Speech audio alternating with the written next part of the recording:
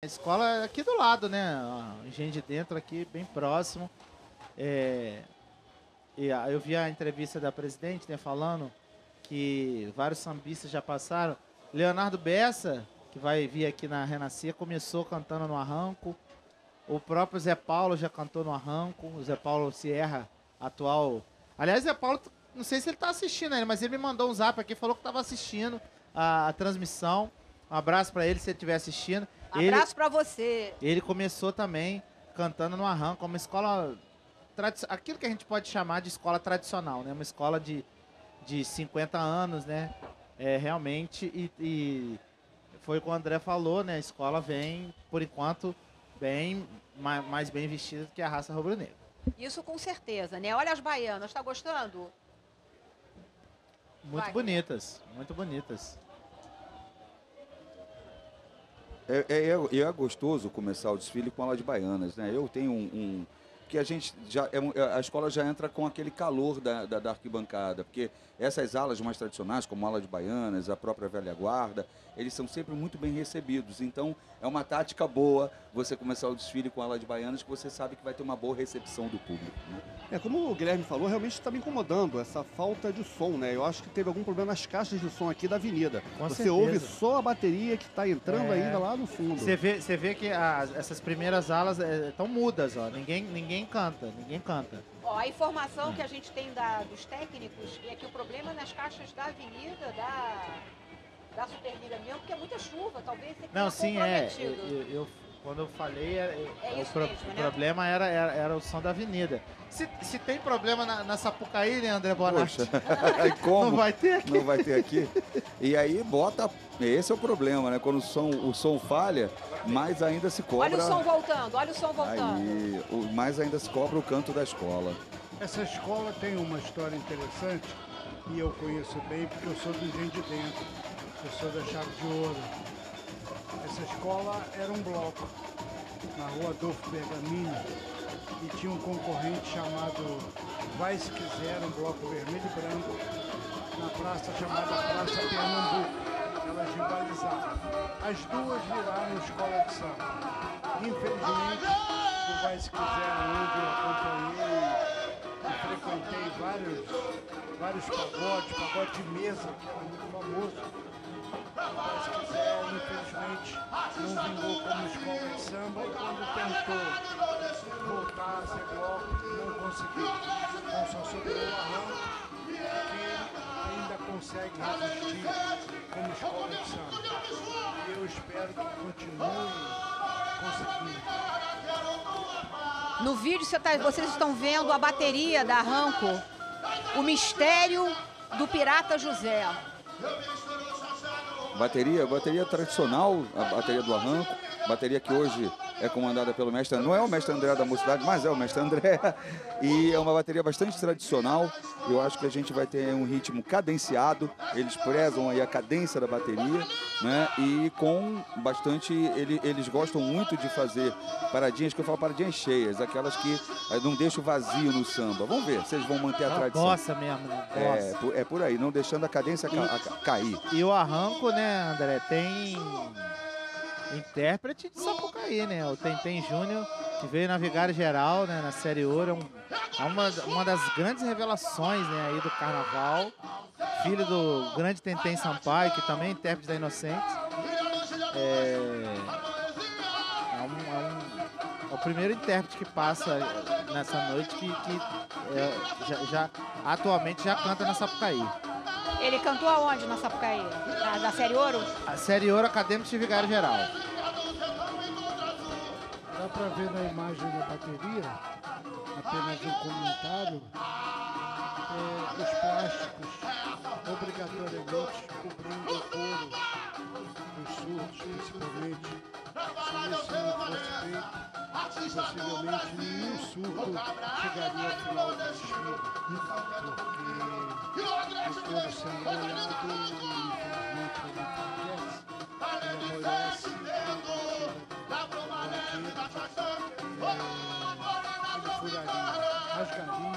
não existiria. Então é necessário que os diretores de bateria, mesmo avenida se o tempo virar. E dessa vez, haja plástico, né? Porque só chove. Eles pegaram muita chuva. Fala, Guilherme. É, e eu já tô vendo mais um grande sambista aqui na ala de baianas, o querido Jardel Lemos, que é coreógrafo de comissão de frente. Ele coreogra... Agora me fugiu aqui a escola que ele coreografou na série Ouro. Acho que foi em cima da hora, se eu não estiver muito enganado. Jardel é aquele de óculos que passou é, lá na o frente? de óculos, de óculos.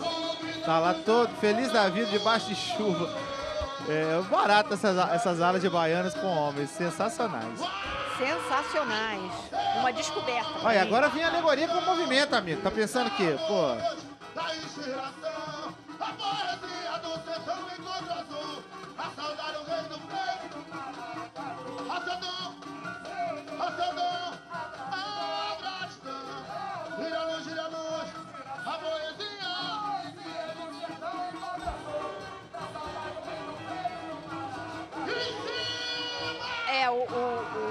o, boi teve problema, né, ali, né?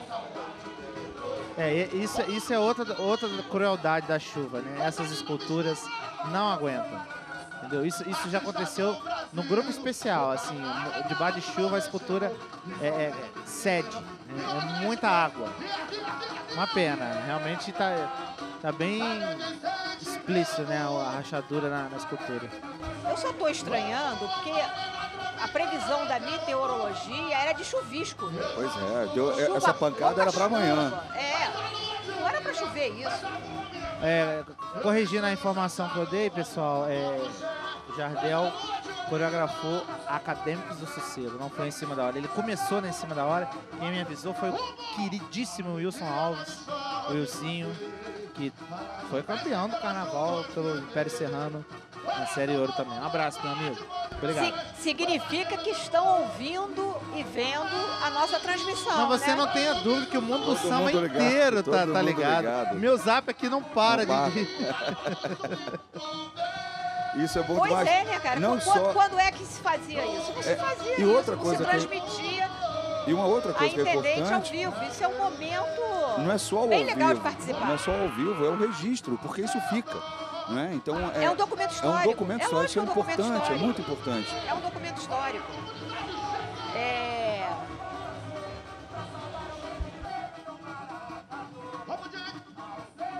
Como vocês sempre frisam a importância da ligação com a comunidade, o Guilherme falava, a raça rubro-negra vem de onde? Qual comunidade? Onde começou? É como se é, é, você tivesse o brasão de família nu- numa, numa, numa, numa, numa escola, né? É isso aí. Grande, e- pequena. É, e é uma coisa que passa, na verdade, é, é- é de geração para geração, né? Você vê aqui na própria escola, a mãe que foi presidente, hoje a filha que é presidente, às vezes isso acontece na bateria, então essas escolas vão passando, na verdade, entre, entre famílias, gerações que desfilam nas... a- aquela que foi passista, hoje ela é baiana, não é? E a neta está na aula de passistas, isso é muito bom.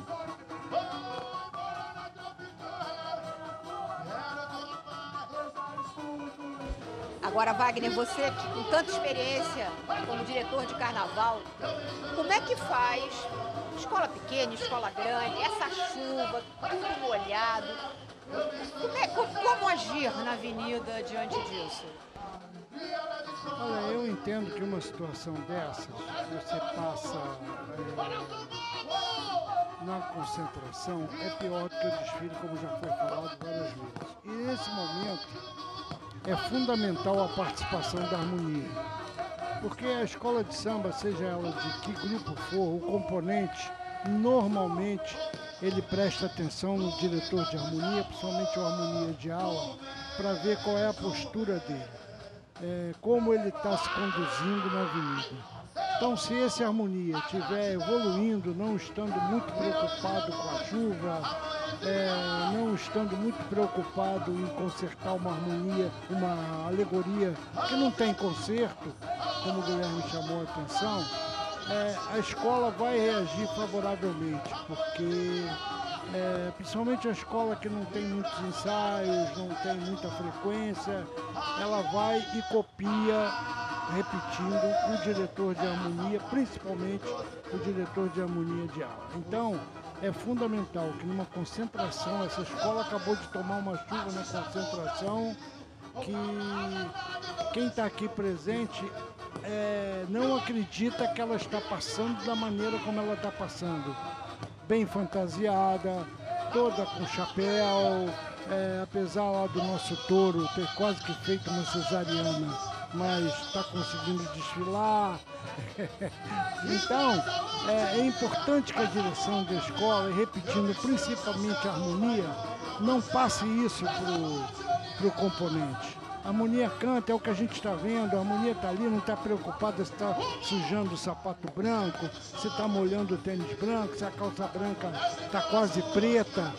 É fundamental, repito, neste momento, a atuação de uma harmonia na escola de samba, em qualquer grupo.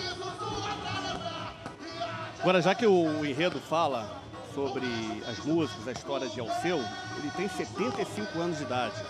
Durante a pandemia, ele ficou praticamente em casa, aqui no Rio de Janeiro. Ele disse que nunca tocou tanto violão na vida.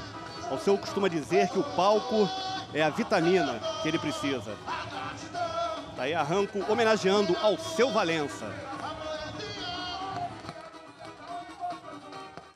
É, e esse é um enredo, né, André, que poderia tranquilamente, fácil, ser apresentado no, no grupo especial. Né? Alceu Valença é um gigante da cultura brasileira. É uma sacada, é uma sacada. É Alceu Valença. E o, é, o... o, Guilherme tem toda a razão. E Facilmente que... passaria no Sapucaí. E a leitura é através do, das músicas, né? Porque foge aquela coisa do ah, nasceu, não sei o que, bababá, daqui a pouco fez isso. Não. Pegou as músicas, está trabalhando em cima das músicas, que é o que ele tem de produção, que é o mais popular, né? Então, assim, aí fica fácil a leitura do enredo. É uma, uma ótima sacada, assim.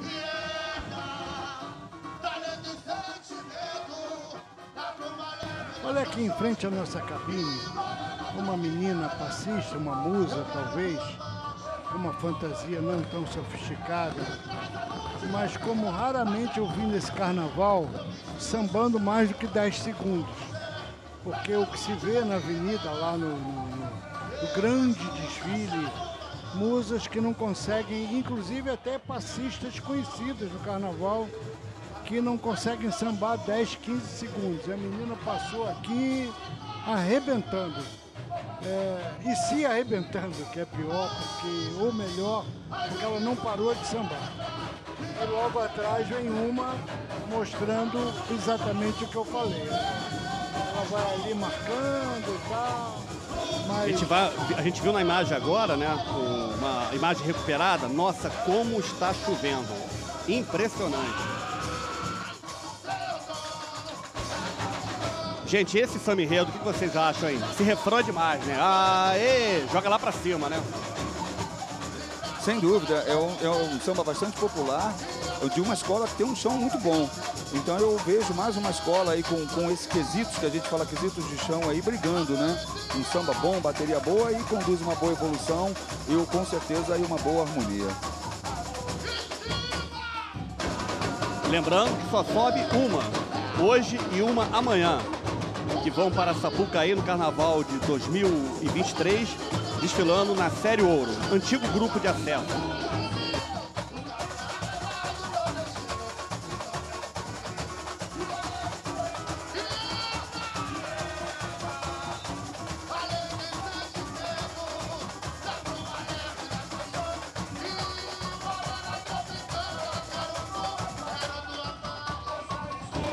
No aí mais uma ala de frevo.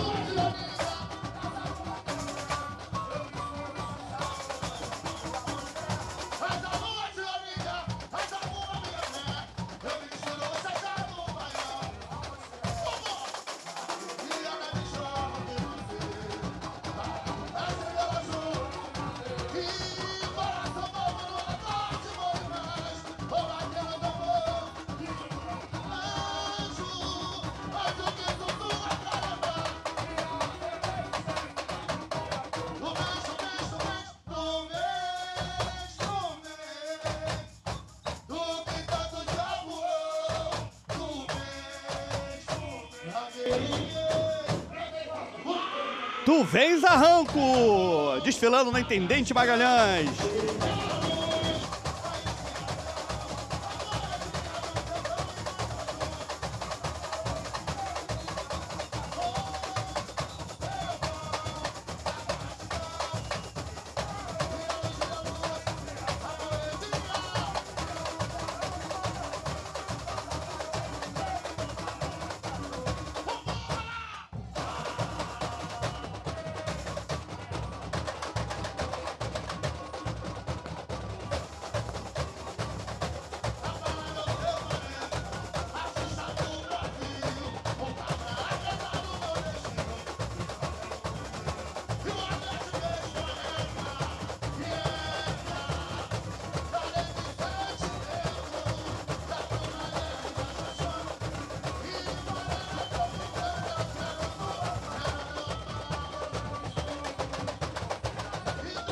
Olha a expressão, felicidade do passista.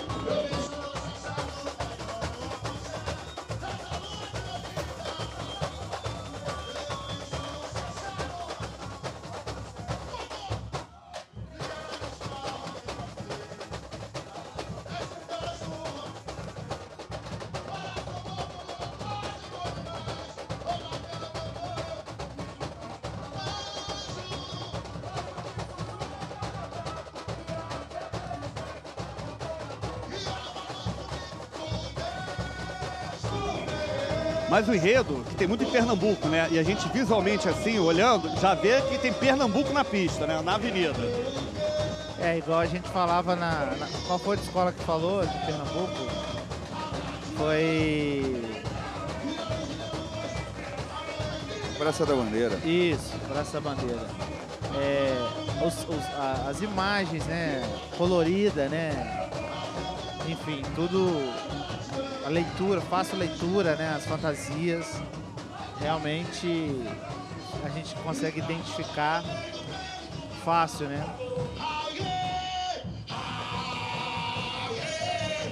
Eu vejo que as escolas, não, não, tem que ser só daqui, não, Ah, inclusive de especial, as escolas têm que ter esse diálogo, é uma festa popular. Então, o, o enredo, as fantasias, ele tem que ser fácil, fácil entendimento.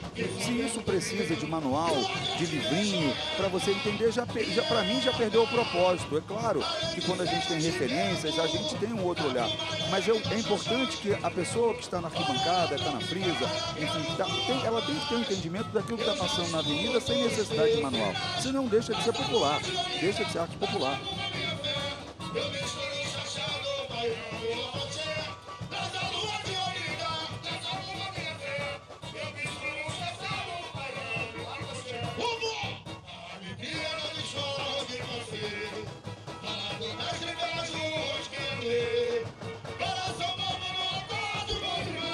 Procurando aqui a dona Diná, ex-presidente.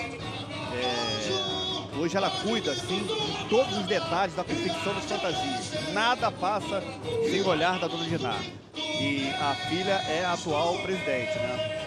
Tentando ver aqui, ela falou que ia desfilar de qualquer maneira. Não estava bem de saúde, mas falou, olha, me espere lá que na sexta-feira estarei na Intendente Magalhães. Estou tentando ver aqui se eu encontro a dona Diná.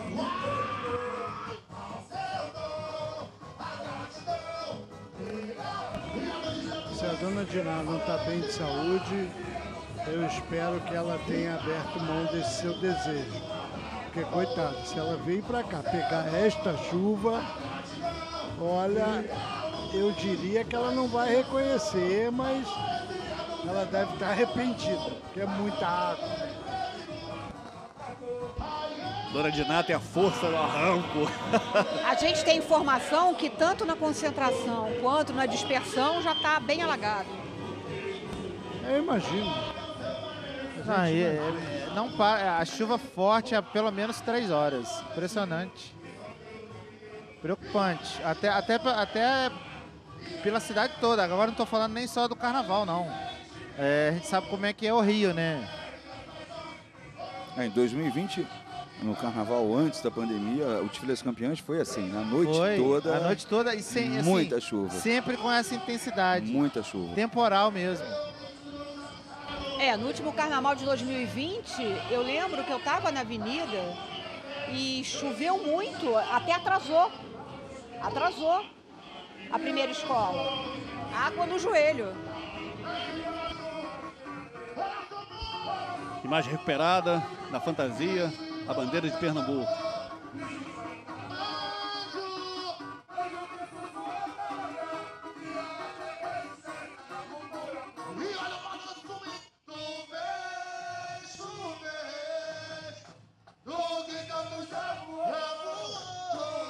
O Arranco é, é, assim como a Renascer, né, é a única escola dessa noite que já passou pela, pela- pelo grupo especial, né, pela elite do carnaval.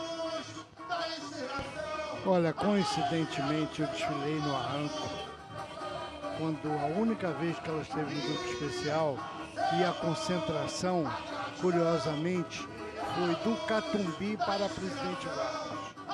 Choveu muito, muito, muito, muito, muito.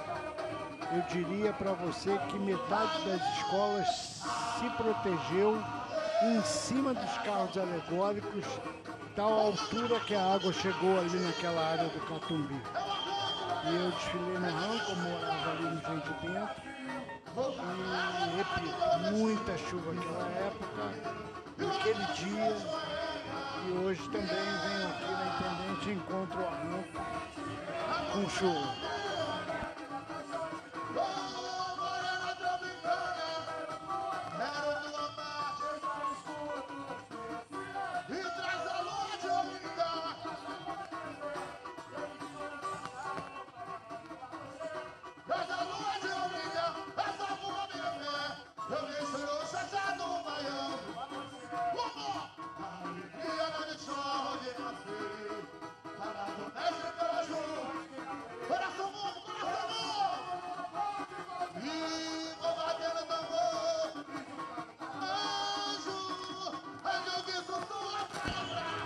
O arranco, inegavelmente, passa bem fantasiada, com várias fantasias com leitura simples, apropriada dentro do enredo, cantando um samba que não é um samba épico como o anterior, mas a escola procurou fazer um trabalho de ensaio decente, organizado, e, e me parece que o arranco é, deve ficar bem colocado, deve disputar é, uma boa colocação. É, o arranco mostra que houve uma preocupação em trabalhar o seu conjunto, trabalhar a sua harmonia, a sua, harmonia, a sua evolução. Repito, um samba que eu pelo menos não ouvi nesse pré-carnaval de três, quatro meses, não ouvi uma única vez, reconheço, mas é um samba que foi bem ensaiado é, pela escola que está cantando. Não, e o detalhe é que ele passou pelo crivo do próprio Alceu Valença, né? Então ele ratificou a letra, enfim. E uma outra coisa que a gente tem que colocar aqui, é que depois de aquarela brasileira, você entrar na avenida, é difícil levantar como, né? Com qualquer samba, não tem, ficaria com é covardia.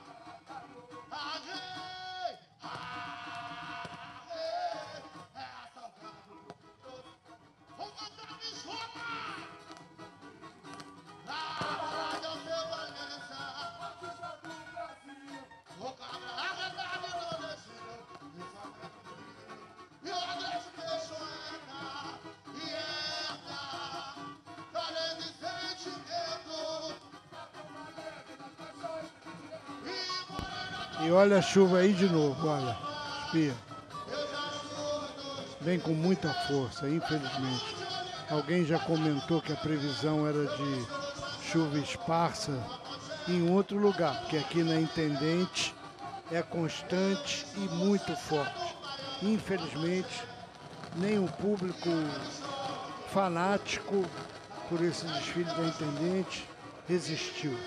A gente já vê, pelo menos à nossa frente, arquibancada com pouquíssimas pessoas. É uma pena, uma pena que tenha caído essa, essa chuva, esteja caindo tão forte. É, lá pra frente ainda tem, ainda tem público, mas as pessoas começam a desistir porque agora, em vez de, de- de diminuir, está aumentando a chuva. É, mas se der uma trégua, com certeza o pessoal volta, né? Tá muita todo gente que mundo mora na aqui. Marquise. É, eu tô vendo também, tem muita gente ali na Marquise, né? Agora uma pena, né? O arranco, o nome surgiu exatamente do bloco que, segundo eles, arrancava os moradores das casas, né, para ir para a rua, enfim. O arranco, infelizmente, não está conseguindo arrancar a plateia aqui, né? Infelizmente, a chuva atrapalhou demais. Mas esse carro tá bonito, não tá, Guilherme? Não tá grandioso, assim? Tá, tá sim. Tá bem iluminado, né? Tá com eh, iluminação, composições, né? Não tá faltando nenhuma composição. Os Ele fecha o desfile, ele fecha o É, desfile. ele fecha o desfile. Tem o nome da escola ali, ó, Arranco, né? Como Ô, é que, Guilherme, como é que você fun- não era nascido Ah, e no, no- no- nesse bairro, aí dentro, tem uma rua, o Adolfo Bergamini. Na quarta-feira de cinza saía um bloco que aquela época era completamente proibido. A polícia perseguia, os moradores eh, refugiavam, os, os componentes refugiavam na casa dos moradores. Lá eles tomavam café, refrigerante, os, os moradores socorriam os componentes do bloco da quarta-feira de cinza. A partir de um determinado ano, o delegado lá do bairro, do, do- do- da delegacia da época, botou um carro de polícia na frente do bloco, para que o, bloco pudesse desfilar. Acabou o bloco de quarta-feira de cinza. Se não tinha aquela correria, aquela baderna, aquela bagunça, o nego não queria mais. perdeu a graça, né? Ficou Chave de sem ouro? graça. Chave, Chave de, de ouro. ouro. chave de ouro. Ficou sem graça. Você sabe que eu já dei muito plantão de carnaval com um chefe de reportagem me mandando fazer matéria da chave de ouro. Tinha que catar o bloco. Catar, não é? Não tem que catar o bloco? Chave de ouro tem que catar ele, né?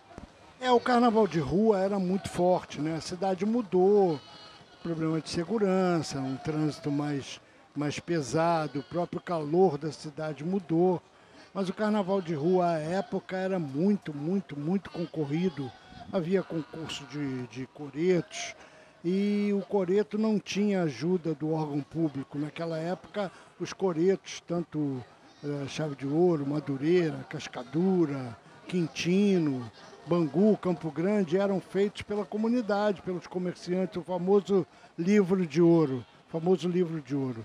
É, a partir do momento em que o órgão público começou a ajudar, perdeu ah, o carisma, porque a banda que tocava antes era a banda do bairro, é aquela bandinha de carnaval, o cara que construía lá o coreto, o marceneiro, o carpinteiro, era do bairro, com subvenção, órgão público entrando, aí vinha o, o- o empregado de Campo Grande fazer o coreto do- do- do- da chave de ouro, ah, o de Quintino fazer o de Campo Grande. Então começou a perder um pouco aquela, digamos assim, aquela congregação, aquela união eh, de famílias, de moradores do lugar, do cara que tinha família e que tinha construído aquele, aquele coreto, a bandinha que era do lugar ou as bandas do lugar estavam ali tocando. E aí esse público foi fugindo, repetindo, com o crescimento da cidade, trânsito, segurança, temperatura, eh, e aí os carnavais de rua badalados dessas localidades foram, foram caindo, diminuindo, perdendo a sua, a sua força, a sua essência. Na imagem aí, o último carro do arranco do Engenho de Dentro, fechando a praticamente o desfile. também. Agora, pergunta que não quer calar, meus especialistas. Uma chuva dessa não para.